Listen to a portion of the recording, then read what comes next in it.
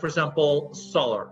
If I have said 10 years ago that the price for solar would fall to one tenth, uh, people would say, oh, that's our ambitious. But today we know that solar uh, is 10% of what it, it cost uh, 10 years ago. And through the development of uh, more modern solar, solar panels, uh, these uh, are now available and they're also very competitive when it comes to traditional energy sources. And here we also have uh, to thank China a lot because China, through manufacturing and producing um, solar, has been a major contributor to driving down uh, the prices for solar, and we have now seen a lot of um, solar panels being uh, not only developed, but uh, we have seen investments, and they're all over the world, driving down the prices and increasing the amount of renewables.